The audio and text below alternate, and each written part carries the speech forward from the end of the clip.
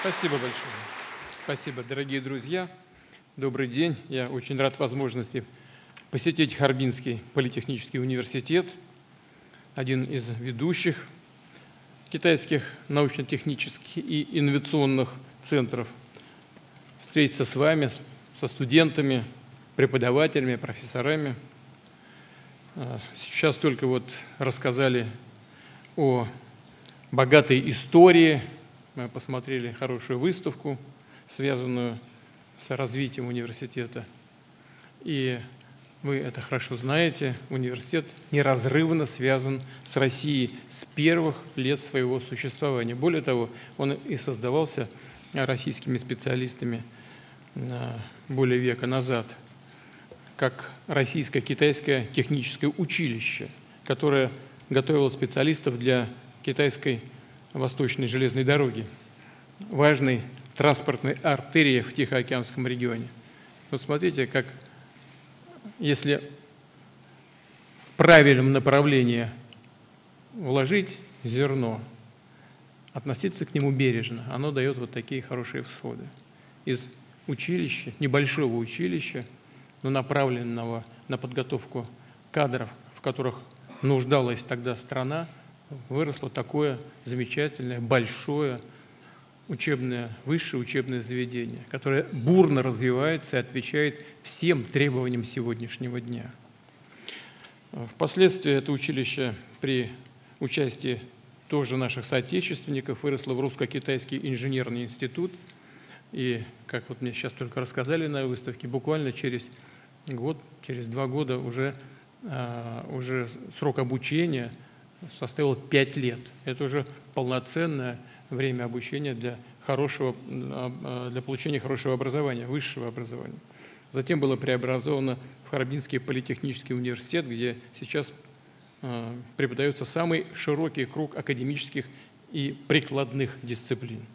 Важно, что Харбинский университет бережно хранит традиции сотрудничества с нашей страной и поддерживает плодотворные партнерские отношения с крупнейшими российскими научными и образовательными учреждениями, такими как Российская академия наук, ее дальневосточное отделение, Московский государственный университет имени Ломоносова, Московский авиационный институт, Дальневосточный федеральный университет, Тихоокеанский государственный университет.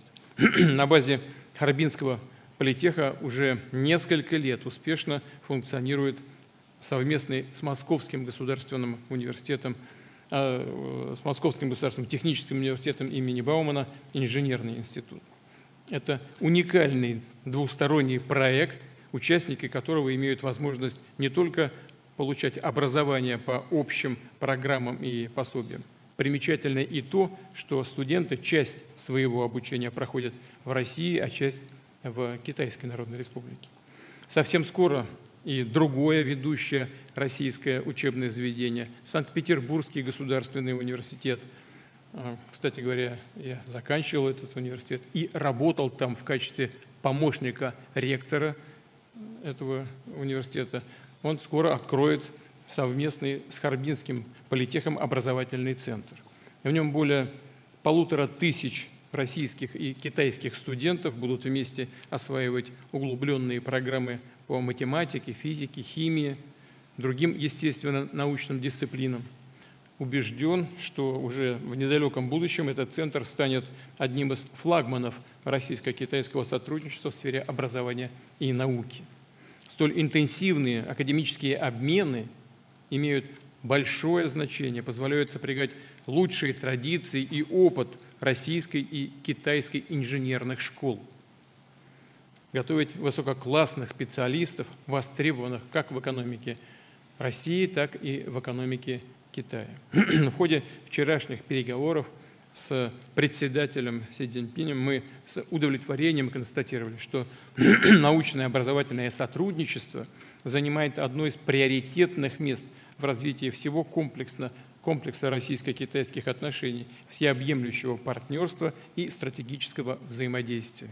И вот в этих словах хочу тоже обратить на это внимание, большой смысл именно всеобъемлющего партнерства и стратегического сотрудничества, взаимодействия. Об этом наглядно свидетельствуют и конкретные шаги, конкретные э, шаги, которые мы предпринимаем, и результаты которых мы добиваемся. На текущий момент в России высшее образование получает порядка 50 тысяч китайских граждан. В свою очередь в КНР учатся около 16 тысяч россиян.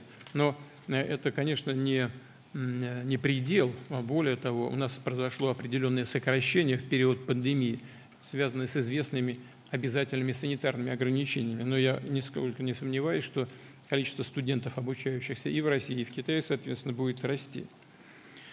А, в Китае осуществляется 167 двусторонних образовательных программ в Китае и в России. Функционирует 28 институтов с российским участием. Всего же между нашими странами действует 12 межвузовских ассоциаций, включающих около 600 образовательных учреждений. Наиболее крупной является Ассоциация технических вузов России и КНР, которая объединяет 40 российских и 36 китайских университетов. В нее, кстати, входит и Харбинский политех. Показательно и то, что в 2023 году российскими и китайскими консульскими учреждениями в общей сложности выдано 34 тысячи учебных виз. Это в два раза больше, чем в 2022 году. Хотел бы подчеркнуть, что все двусторонние образовательные программы осуществляются как на русском, так и на китайском языках, которые, конечно, весьма непросты для изучения. Думаю, что и российским присутствующим здесь студентам, и китайским это хорошо известно. Но думаю, согласитесь также и с тем, что э, знание второго языка всегда открывает более широкие перспективы для не только личного общения, но и карьерного роста, реализации перспективных научных исследований, ну и вообще знание любого иностранного языка – это дверь в новый мир, в другую культуру.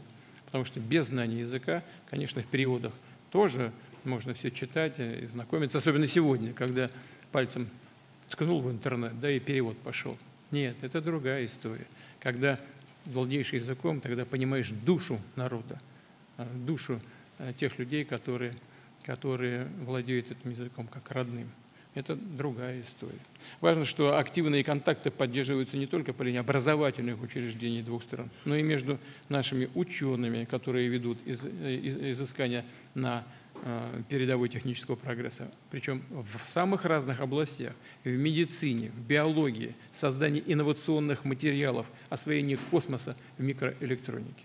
Напомню в этой связи, что в 2020-2022 годах с большим успехом прошли перекрестные годы научно-технического и инновационного сотрудничества, в рамках которых было проведено более тысячи совместных исследований с участием ведущих научных центров и кафедр России и Китая.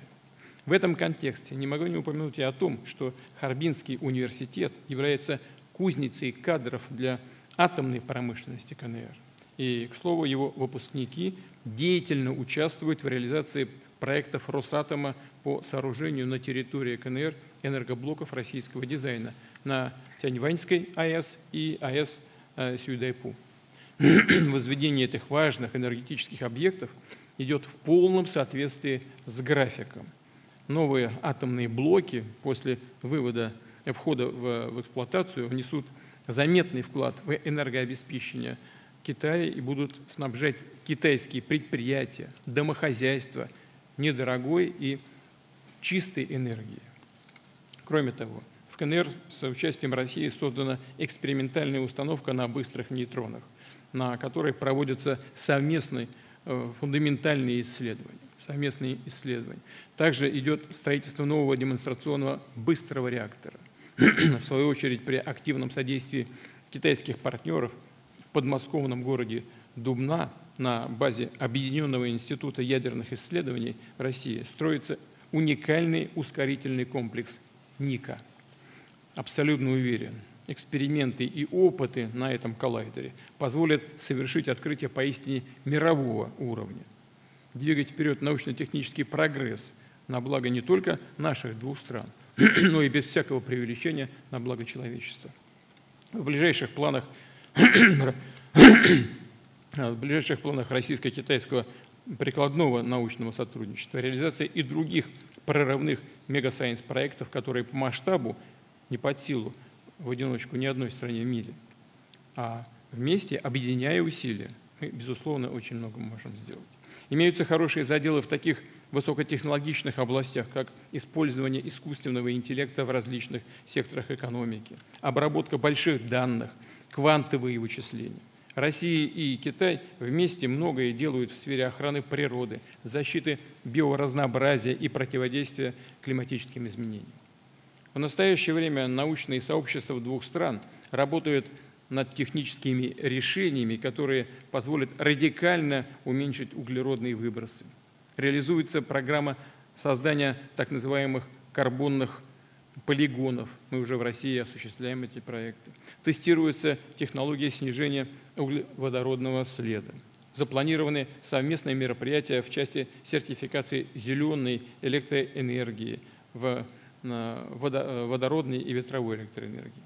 Естественно, российские и китайские студенты и преподаватели не только принимают участие в учебных и научных обменах, но и активно вовлечены в двусторонние культурные и общественные проекты, творческую, волонтерскую деятельность.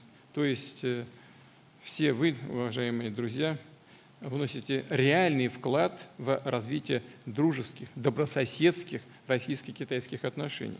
И позвольте мне искренне пожелать вам в этом успехов, новых открытий, новых свершений и э, хорошей, интересной э, карьеры и личного успеха, и э, вашей работы на благо вашей Родины, на благо Китая, э, на благо народа Китая, ну и на благо развитию российско-китайских отношений и российско-китайской дружбы. Благодарю вас за внимание. Спасибо.